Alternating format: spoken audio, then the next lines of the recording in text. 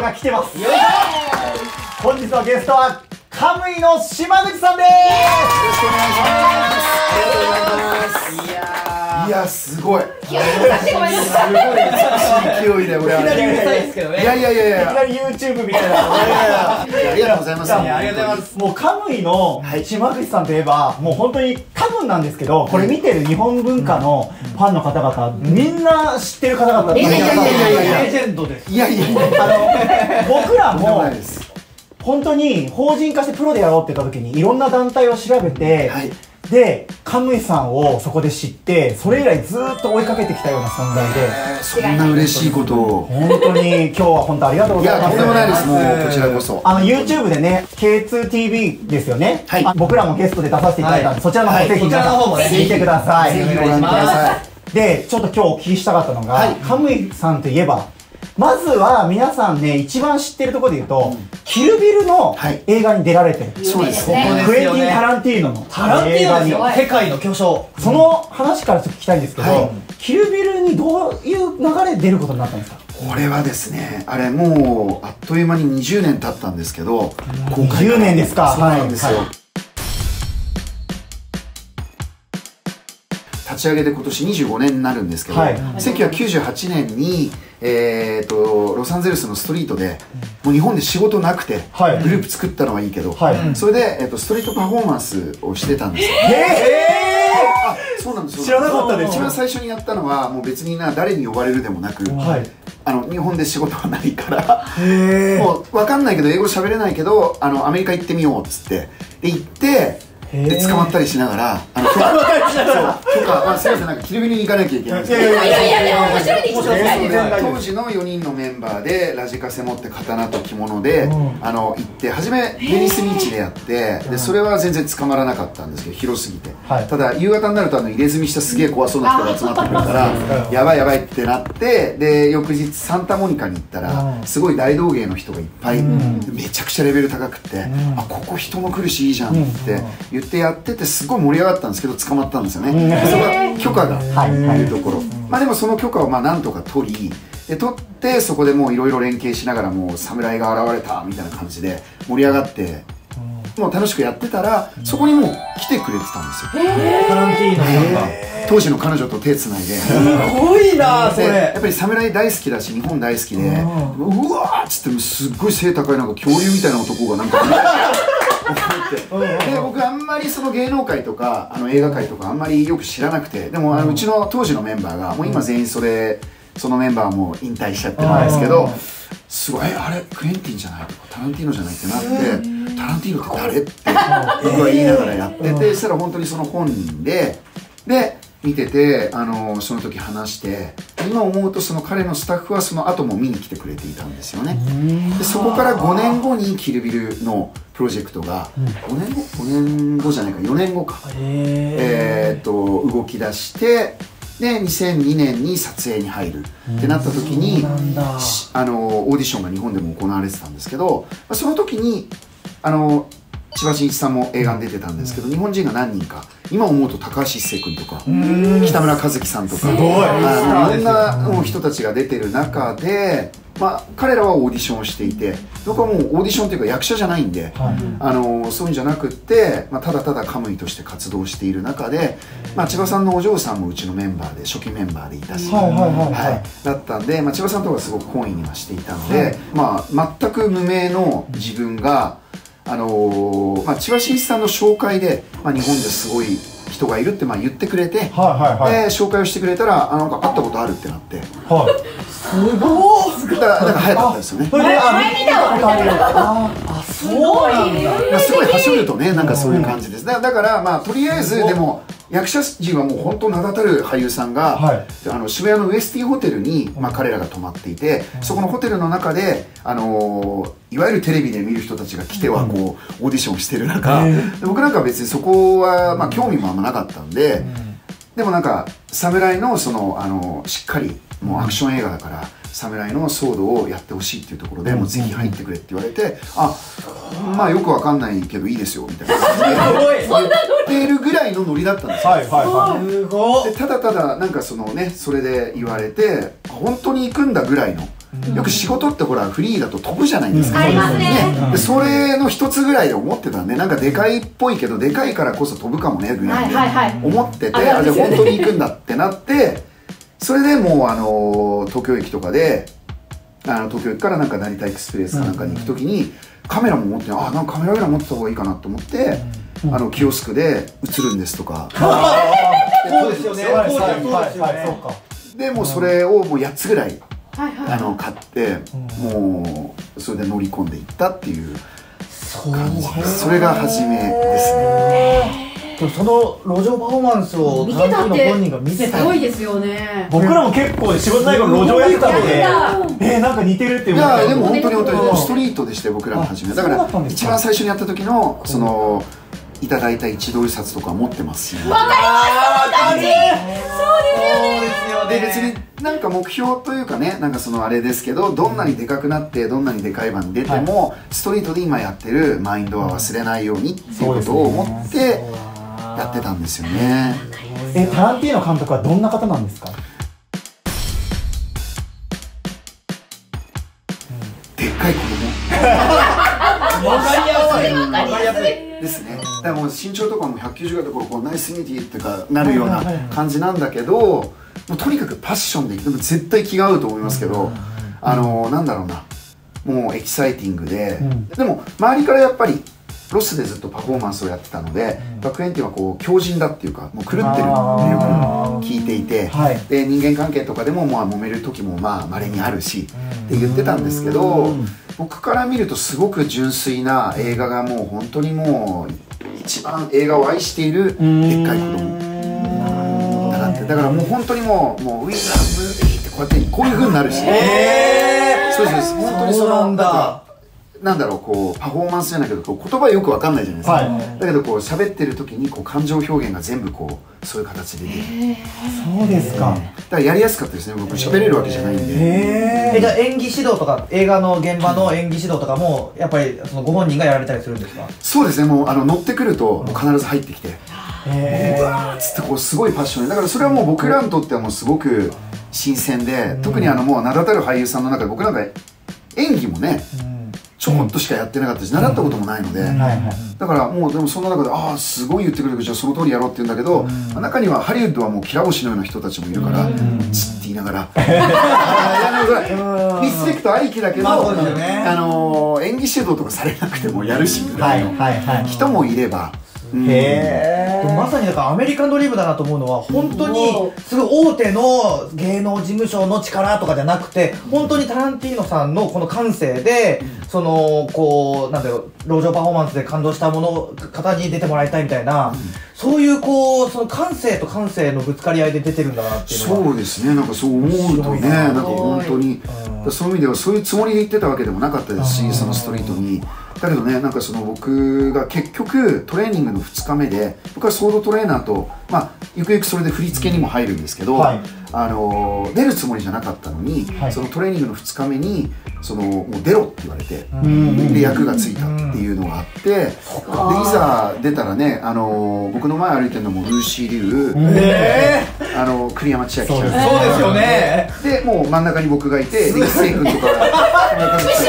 が夢の世界じゃないですか。出たんですよね。でなんかこれいいのかなって、ハリウッド映画って大体ルートが。はい。そうですそうは言っても決まってるので、はいはい。キャスティングから何から、全然関係なく入っちゃう。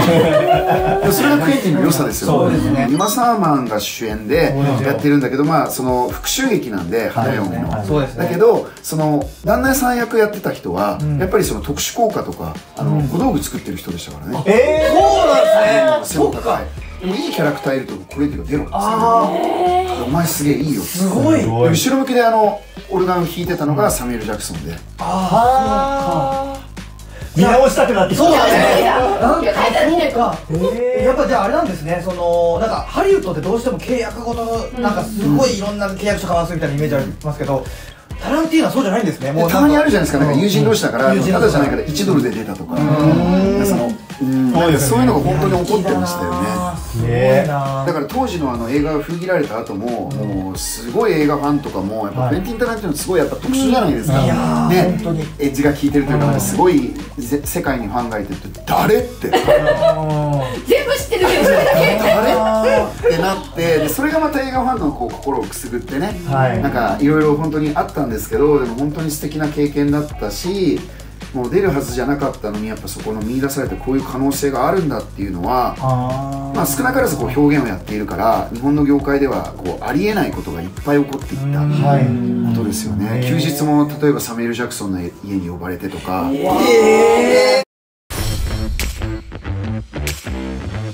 すごっ。返すものがないからだからもうパフォーマンスするしかないんですよ。か。ででそこにあの NBA のね当時僕らの世代とスターだったマジック・ジョンソンっていはいはいはいはい。たり。普通に。ででその時のメインゲストが日本人の友人が来たからって僕らがメインゲストになっちゃってるから。世界すごい。やばいってなって。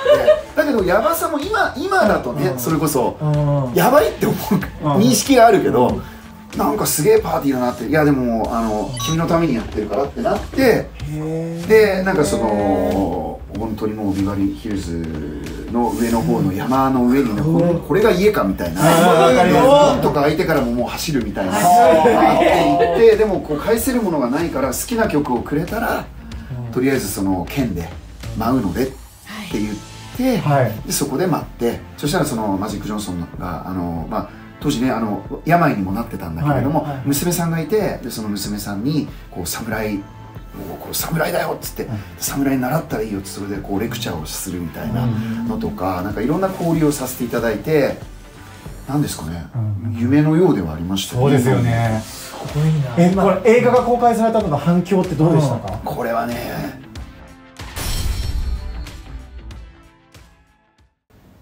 ブランクを作りますけど言っていいのかな？あのいやあのレッドカーペットを一応歩きました。その六本木ヒルズができたばっかりの時に、あーそうですただ北村一樹さんとかそれこそ栗山千明ちゃんまだ17歳だけど、あのバトルロワイヤルの直後だった。んはいはい。めちゃくちゃバシャバシャバシャバシャバシャこれ行くのかここにバシャバシャピタって止まって。そうですよでねも歩きました歩きました。でそれは日本ではただねすっごく妬まれたことがあって。僕一回だそのだって本当だったら誰もが出たいとはいそうですよね。ころじゃないですか。で出るつもりじゃなかったぐらいなんですけど、はい。だけどそのまあ思うところがある方にはい。いろいろ言われまして、まあ、なんか業界から消してやるって言われて、でそれこそいろんなあのことがあってでも僕若かったんで、今32ぐらいだったんで、業界出てるのに消すってどうやってやるんだよって つって。言ったら本当ちょっとあ危ない目っていうかまあまあちょっとね嫌な思いもしてだからなんかあの一回それで本当に一番ひどいのを聞いた話だと映画からも消されそう本当に絵から消されるような交渉しに行った人もいるらしいんですよ。悪いことしてないですよ何もはい。そうですよね。だけどでも、まあ、あのアメリカサイドがそのパーンってこうなんかなってで守ってくれたしあのまだ YouTube にあるかどうかあれですけどルーシー・リュウがあなたに教わったっていうことをちゃんとあの出しなさいっつって。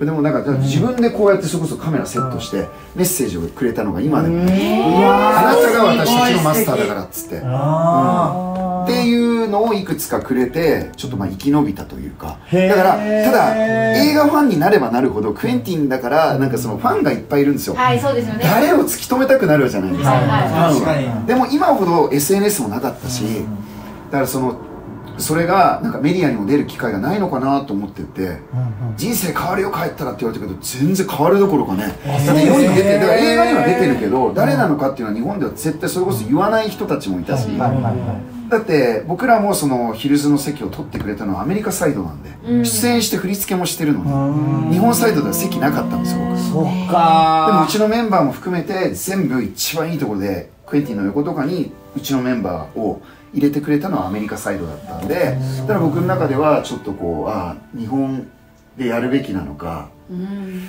こう海外のそのフェアな部分なるほど。っていうところで戦ってるところがあって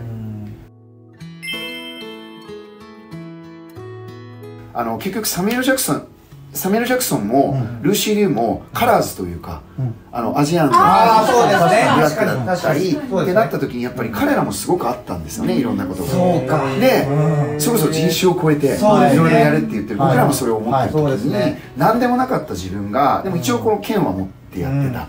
でその時にあの哲郎ってこうなんか私たちもいろいろあったし今もあると。はい。でもあなたがやってることはすごくネイティブな文化を世界に広げるすっごいことをやってるから絶対折れるなと。でだからそれが一番なんかハリウッド映画だからっていうことじゃなくてキルビルで彼らにもらった。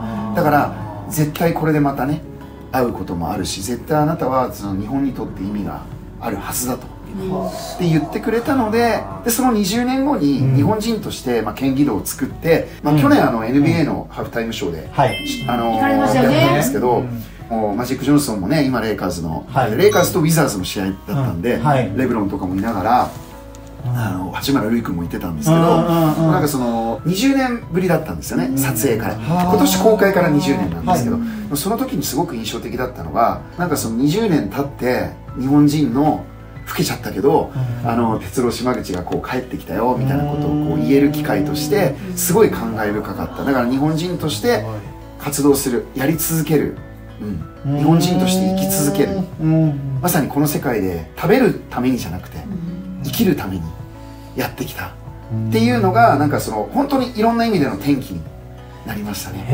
キルビルは。すごい話めちゃくちゃ感動しいやいやいやいややっぱりすごい映画だったからなんかある意味パスポートというか、そうですね。世界に行く時のパスポートにはなってるあので。ー。いい僕らもねあの普通に映画が大好きでタランティーノの映画も大好きで。でもねよくねアップされてますそうもんね。なんですよ。それで、普通に僕が本当に高校生の頃とかにキルビルを見て、今思うとやっぱり島口さんの活躍がやっぱ届いてますもんね。いやいやもう本当に。もだから本当に初めて僕らが、あの、海外のフェスでお会いするときに、え、あのタランティーノ？の本当に本当そうですマジで思ってました。いやいやいやいやいや当時ハリウッド映画に日本人が出るっていうこと自体もまああんまりなかったですよねですねあんまりなんかそれで日本人って活躍できるんだっていううんふうに思えた作品でもあると思いますねそうですうね。でもそれはね本当にだからそういう意味では運も良かったですし運と縁にね支えられてというかただある意味では自分がやったうん。自分が歩いてなかったらやっぱ会えなかったわけで、だからそこはありますけどでも本当に感謝しつつ、ね、フリーでもやれるんだっていうところが、うん。でもあれはちょっとざわついたらしいですけどねやっぱり、うん。まあ、僕にというよりは、そういうケースが起こっちゃったことに、剣技道っていうのはそのその名の通り剣の剣舞みたいなものとか武道みたいなものを合わせたっていう解釈でそうですね。か剣が、えー、と意味するところがそのまあ剣術とか、はい剣道とかっていう、まあ、いいわゆるマーシャルアーツの部分、はいはいはい。武術の部分。うん。で木が歌舞伎で使われてる木。はい。ですね、技術ではなくて人弁の方で、まあ、人がこう演じる部分うん。っていうところで、まあ、それをそうですねパフォーミングアーツと、うん。あのマーシャルアーツをミックスした、うん。まあ、道そうですね。であると。だからそれはメソッドであり、まあ、その生きる道。Way of Life というかその自分たちの道なので、うん。まあ、プロもいるしアマチュアの人もいるし。今のところ人ならば入れますよねまだ。道ねまあわかんない。もう犬でも。犬でも。これからカムイさんがこの剣技道とか剣技集カムイを通して伝えたいこととかってどんなことがあるんですか？うん。あの実はねこの収録の前に、はいうん。あのうちの番組に出ていただいたじゃないですか、はいはすごく被るなっていうところがあって、はいはい。うん、なんか和の和という、まあ、言葉で日本の和をうん。人の和として、うん。平和の和としてつなげていくってでそういう思いではやってたわけではなかったんですけど、うん。あのなんていうのかな。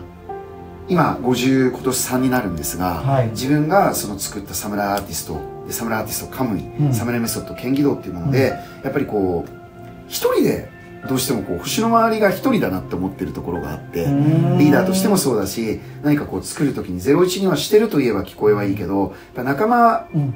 がそれこそ入れ替わったりとかうちもあって、人がこう変わっていったりでいろんな人とまあぶっちゃけ揉めたりん。いろんなこともありながらここに来るにあたってでも人に生かされて人とやってて人に届けるものだしん。人とつながっていくっていうところを断ち切るんじゃなくって刀で、はい。うん、なんかその人をつないでいくっていうことを綺麗事じゃなくて我が我がでを突き進んで人と揉めてたこの自分が言うのもあれなんですけど、やっぱり40代以降からはなんかそういうところをナチュラルにあとは死んだ後も残るものにしないと文化とは言えないので、そうですそこ大事ですよね。うん、今自分が何に出るとか何をやるっていうのも生き切らなきゃいけない、はい。生き抜くんですけどでもそのやっぱり教えてやるでもないし、うん。必然的に当たり前のように続けていく。うん。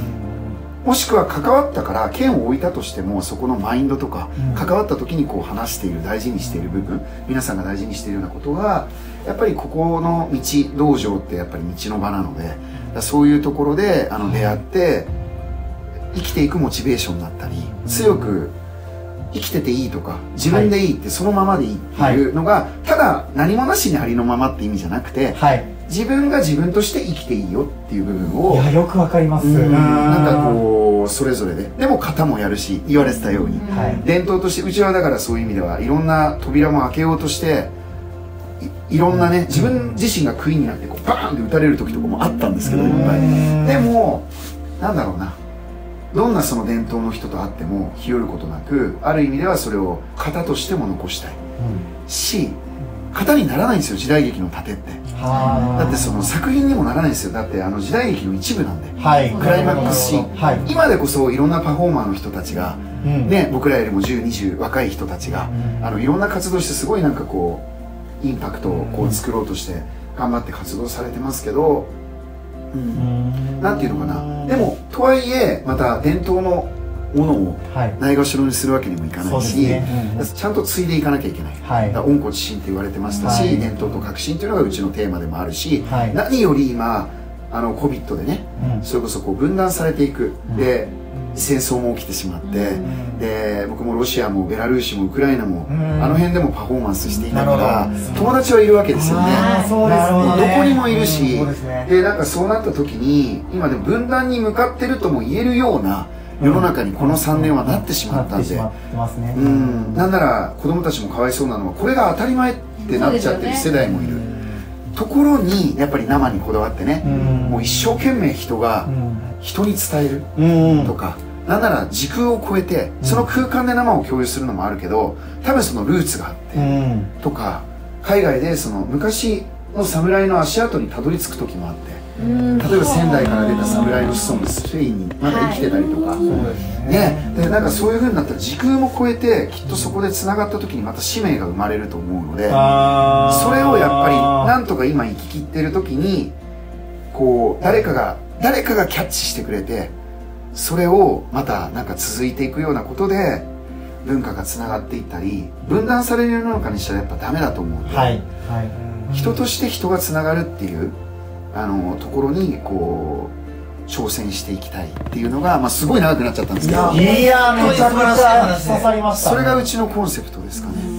なんか本当に偶然なんですけど、僕ら三兄弟の父親であるあの今でも宝部の連長が、時空超えろって言ってたんですよああ本当ですか。本当にたまたま時空ってます。時空って言葉使ってたんで、はそういう意味ですごい今共鳴してます。ああいやすいません偉そうにないやいやいや本当にとんでもない。でもなんか、うん空間とか時空とかをやっぱり共有しつつも超えたりそうですよね。つながったりできるように生きていられると思うし、なんかね本当なんかそれを国とか、ね、性別とか、うん。宗教とか年齢とか全部超えてやるっていうのをうちもキーワードにしているので、はうわあの島口さんご自身が多分時空を超えたもう侍なんです。よ今途中からもう本当に侍と喋ってる。みたいなね、でもっていうあの精神的な意味でも。背筋を伸ばさなきゃと思うんだけどやっぱりその自分の中でもこう後悔というか、